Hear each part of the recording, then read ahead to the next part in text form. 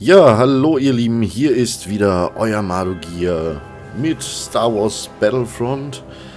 Wir wollen nochmal eine Schlacht spielen und zwar ist diesmal nehmen wir die Schlacht auf Endor. Wir spielen auf normal im Solo-Spiel, versuchen uns jetzt erstmal ähm, halt wieder 100 Tokens. Im letzten Versuch hat es ja nicht so gut geklappt. Da sind wir ja angeschissen worden von den Rebellen im letzten Moment.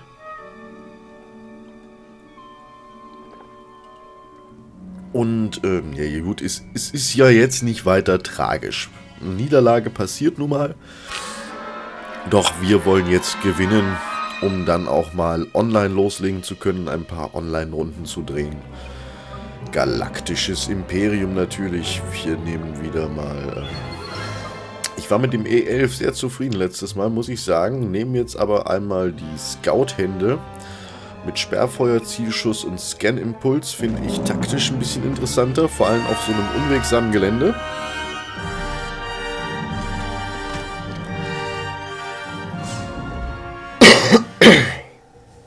Besiege so viele Rebellen wie möglich. Ei. Jetzt müssen wir natürlich erstmal wieder Rebellen finden.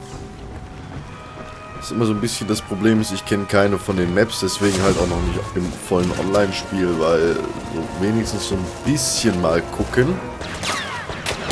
Ist vorher doch saumäßig schick. Weil dann hast du halt wenigstens auch die Möglichkeit, immer so vielleicht ein, zwei markante Punkte zu merken. Verbessert dann halt die Chancen. Ah ja, und wenn wir die Punkte aufnehmen von besiegten Teammates, dann kann der Gegner sich diese nicht sichern. Das ist natürlich auch super. Bisher sieht das doch ganz gut aus, diese Runde. Wir liegen 8 zu 0 in Führung. Das kann sich aber verdammt schnell drehen, haben wir ja vorhin gesehen. Rabem, Rabem, Rabem hat uns die Rebellenallianz gezeigt, wo der Frosch denn seine Locken hängen hat. Ja, der Frosch rasiert sich nicht, ich weiß. Das ist ein blöder Frosch. Zack, der nächste erwischt. Hm, wenn ihr Bock habt, auch mal mit mir eine Runde Let's Play zu machen, so gesehen ein Let's Play Together Battlefront, dann meldet euch einfach bei mir im PlayStation Network mit einer Freundesanfrage an den Madogier und dem Betreff Battlefront LP. Dann weiß ich Bescheid. Dann werden wir gucken, wie wir das unterbringen und auch mit euch dann halt mal eine schöne Runde zocken. Ihr werdet dann aufgenommen und ganz normal mit in die Videos integriert. Ähm, ja. Warum nicht mit euch spielen, wenn wir schon aufnehmen? Das ist doch viel lustiger, ne? Wir haben gerade eine Annäherungsbombe erhalten. Die werde ich jetzt auch mal schön legen. Ha.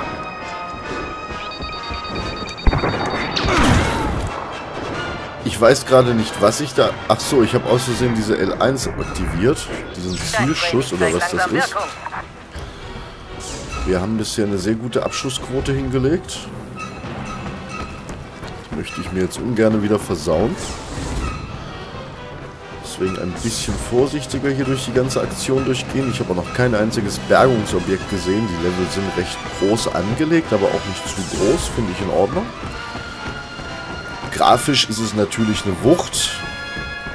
Ich habe jetzt nur die Aufnahmeleistung ein bisschen verringert von 1080p auf 27p, weil ähm, bei 1080p die Aufnahme doch ein bisschen stockt und dieses Problem haben wir nicht. Für euch aber so gut wie kein Qualitätsverlust, weil ich natürlich auch die Videos dann nochmal hochrender auf 1080p, was zwar ein bisschen Aufwand ist, aber für euch dieselbe Qualität ergibt. Ich habe das äh, probiert, einen Test gemacht. Das ist von der Qualität her mit dem Auge eigentlich nicht sichtbar, dass da ein leichter Unterschied entsteht.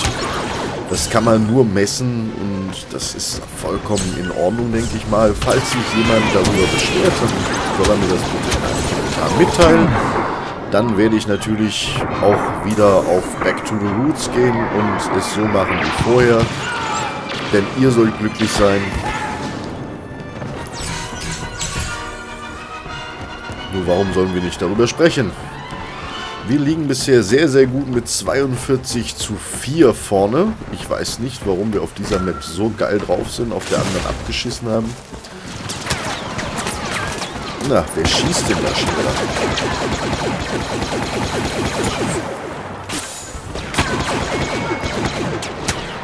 Drei Getötete mit Kopfschuss sogar. Fünf, sieben, neun Punkte mit drei Gegnern.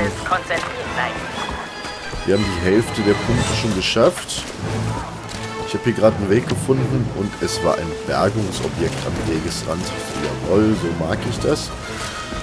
Ich habe jetzt gerade gedacht, so komm, wir haben jetzt so einen dicken Vorsprung, ich kann mal eben hier ein Ründchen drehen. Einfach mal, um zu schauen wegen diesen Bergungsobjekten, ob wir welche davon finden. Das kann ja nicht schaden.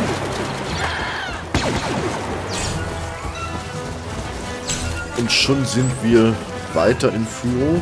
Also wir bauen unsere Führung recht gut aus.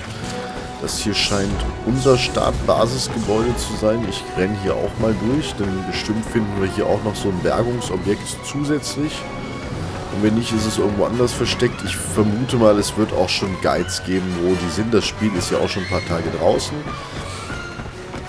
Ich habe es aber bewusst nicht ganz am Anfang gespielt, weil ich gemerkt habe, auch in der Beta, dass einige sehr schwerwiegende Fehler vorhanden waren. Und äh, dann lieber halt so ein paar Tage warten, nicht den Hype mitmachen, sondern einfach dann ein Spiel genießen, was auch spielbar ist. Wir erinnern uns zum Beispiel an Unity, das hatte am Anfang doch sehr, sehr starke Probleme und wirklich schwerwiegende Bugs.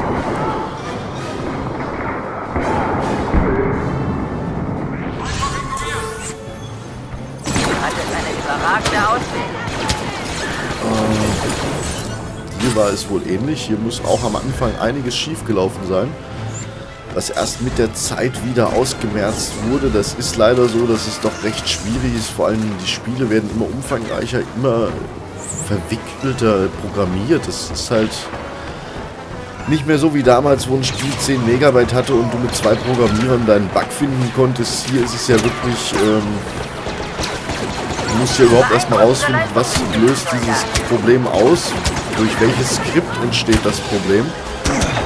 Und wie kann man das umskripten, um das Spiel nicht zu verändern, aber das Problem zu lösen? Also die Entwickler haben es heutzutage schon nicht leicht, das muss man ehrlich und offen zugeben. Aber die Leistung der Entwickler ist natürlich auch um einiges größer geworden. Ich habe mir auch schon überlegt, was wir mal machen sollten, ein Let's Play Classic. Das heißt, ähm, für mich wäre interessant Final Fantasy 8, wenn ihr da auch Bock drauf habt, weil das ist eigentlich mein Lieblings-Final Fantasy Teil bisher. 9 ist mein zweitliebster, 7 mein drittliebster. Dann kommt 10, 10, 2, 13, 2, 13. 13 war so bisher mein, mein abschreckendster Teil, kann man sagen. Ähm, halt, ich hoffe drauf, weil 7 ist ja jetzt für die PS4 letztens rausgekommen im Store. Ich hoffe, dass 8 auch noch kommt, weil dann können wir 8 zusammen aufnehmen. Ich habe das originale 8 zwar auch noch da, aber ich denke mal, äh, das erzeugt so einen Augenkrebs, das kann ich euch einfach nicht zumuten. Das sieht doch nach einem Sieg für uns aus. Ja, Sieg.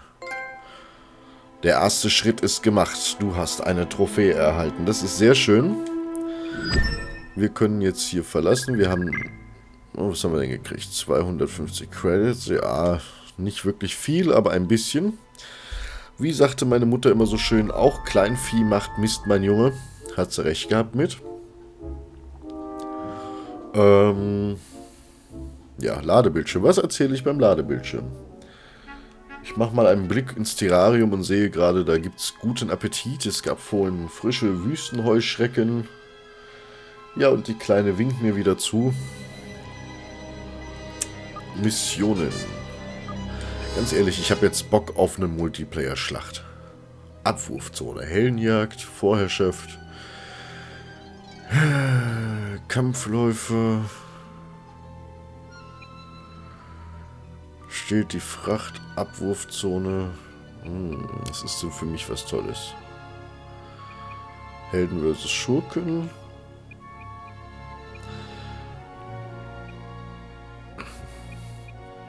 Ich habe eigentlich Bock, diesen Kampfläuferangriff auszuprobieren.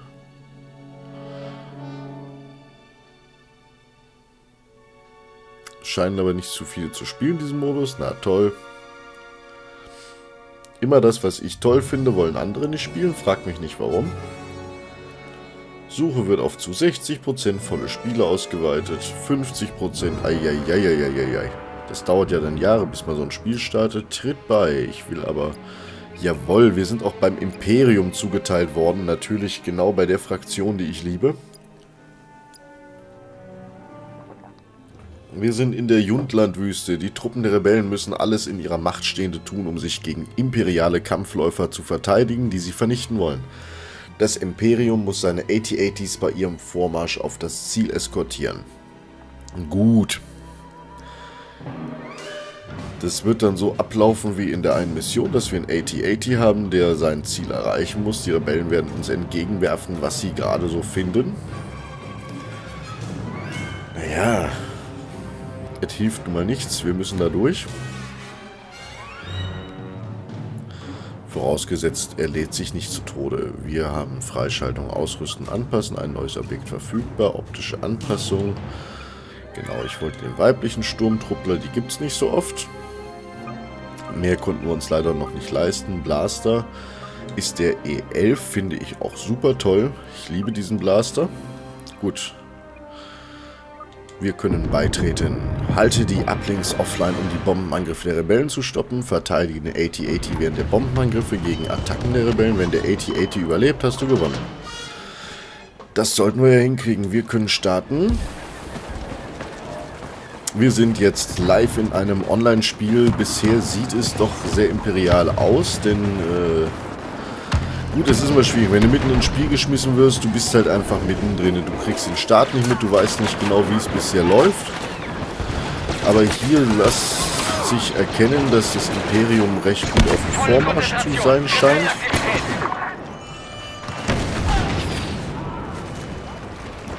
Hier müssen Ablinks heruntergefahren werden. Zielerfassungssequenz der Rebellen unterbrochen. Operation wie geplant fortsetzen. Sehr schön, ein Uplink weniger. Da drüben ist der nächste Uplink, wie es aussieht. Ich versuche jetzt einfach mal dahin zu rennen. Da war doch ein Lattengegner, da kommt noch einer. Scheiße, der hat mich erwischt. Wir starten wieder. Der Uplink ist aktiv. Unsere AT-ATs laufen. Ich habe noch keinen gesehen. Die Maps scheinen auch recht groß und verwirrend zu sein, aber je weniger Uplinks... Oh, toll. Typisch EA, sehr schlechte Serververbindung wird angezeigt. Das liegt natürlich an denen ihren Servern. Ich habe hier keine Probleme mit der Internetleitung. Die Bomber der Rebellen haben Och, Leute. Kauft euch mal Server. Ihr seid eine Riesenfirma und könnt euch keine vernünftigen Server leisten. Ich hasse das. Da kannst du dir besser selber ein Dedicated für 9 Euro kaufen.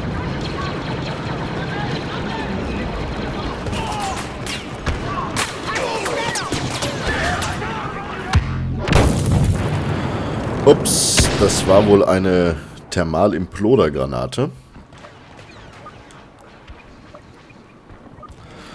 Ich habe jetzt mal eine andere Starthand. Jawohl, jetzt haben wir nämlich auch endlich eine Granate dabei. Das finde ich sehr schön. Oh, der ist Dark Trooper. Lord Vader ist hier. Das heißt, irgendjemand hat sich gerade zu Lord Vader machen können. Fuck, Rebellenbombe im Angriff.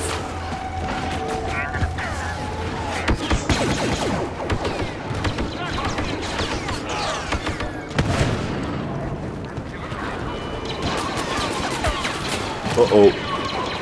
Konzentriert euch. Rebellen nähern sich.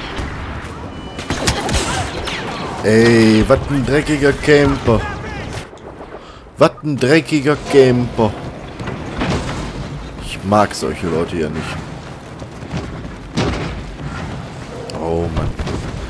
Aber wir sind an dem Uplink dran. Wenn wir, wir den noch kriegen. Ja, Mann. Die Uplinks sind deaktiviert. Das heißt, sie können uns gerade nicht mit ihren Bombenangriffen kommen. Aber irgendwer schießt... Verdammt, den habe ich nicht gesehen. Den habe ich echt nicht gesehen. Ja, man merkt, ich bin nicht so der Shooter-Zocker. Vor allem nicht online, aber naja, es ist ja noch kein Meister vom Himmel gefallen. Wir trainieren ein bisschen. Die Rebellen kontrollieren die Es kann besser werden oder schlechter, wir sie werden sehen. Gut, die haben jetzt wieder eine Ablinkstation aktiviert. Mal schauen, wie wir da jetzt am besten vorgehen. Einfach mal dem Kollegen hier hinterher. Mit dem Jetty Packy.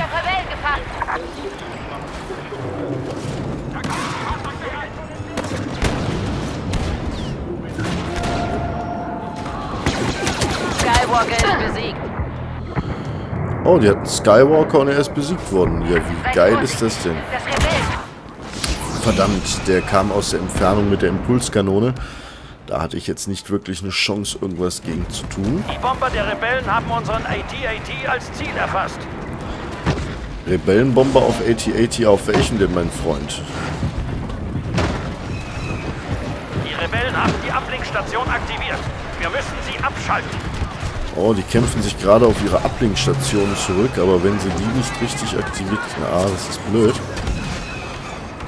Es ist auch ein sehr schwieriger Angriffspunkt hier. Aber wenigstens habe ich auch mal wieder einen getötet.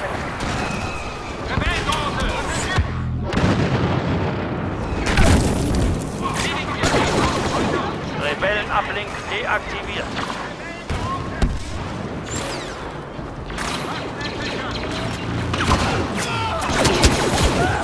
Verdammt! Ich wollte ihm so schön einen überziehen, aber habe es leider nicht geschafft. Deaktiviere den Ablink. Ist denn das Ding? Ich glaube, ja, da vorne. Ich hätte beim Partner starten sollen. Das wäre besser gewesen. Ja, aber die haben ja nur eine Ihre Ablinkstation. Das ist ja schon mal eine ganz tolle Sache.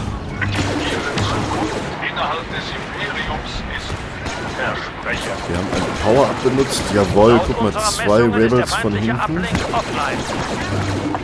Ja, ich darf auch... Oh, ich habe fünf Kills erzeugt. Way, ich bin gut. Von Lord Vader unterstützt. Das waren jetzt zu viele auf einen Schlag. Es war unmöglich, es zu schaffen. Diesmal haben wir aber den Partnerstart gewählt. Wir sind jetzt bei Kikromas gestartet. Der scheint auch ein bisschen erfahrener zu sein. Ich renne ihm jetzt einfach mal kurz hinterher. 2, 4, 80, 80 Wir wissen von Schwachpunkt. einem unserer Informanten, dass Skywalker in eurem Quadranten ist. Bereitet euch auf ihn vor. Das Problem ist, ich habe im Moment noch nicht mal eine Ahnung, wer dieses Match gewinnen könnte. Ich habe aber den Suchdruiden Power abbekommen, den setzen wir auch sofort ein, das kann nie schaden. Da ist Lord Vader, wir kämpfen jetzt mit Lord Vader. Verteidigt ihn.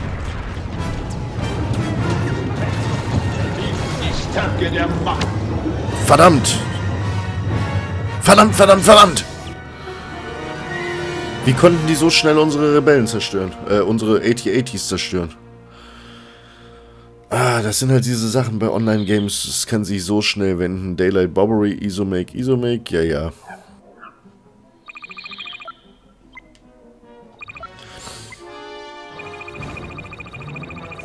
Ja, wenigstens haben wir es auf Level 2 geschafft.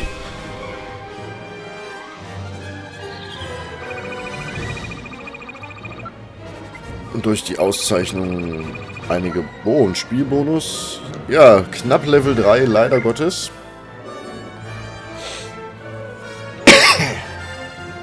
Haben ein paar Punkte gefehlt. Es sind neue Sternenkarten verfügbar. Ja, das ist mal ein Thermaldetonator freischalten. Ja, den kaufen wir uns.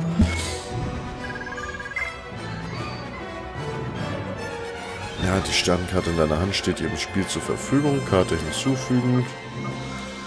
Ja, da ist noch nicht viel. Blaster, Primärwaffe. A280C. Standardblaster der Rebellen. Ähm.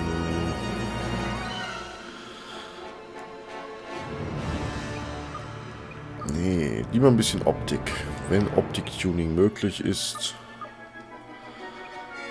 Ach so, das Spiel wurde schon gestartet, deswegen sind wir da drin. Aber ich möchte jetzt mal einen anderen Spielmodus ausprobieren. Und welcher das sein wird, das erfahrt ihr in Folge 4 von Star Wars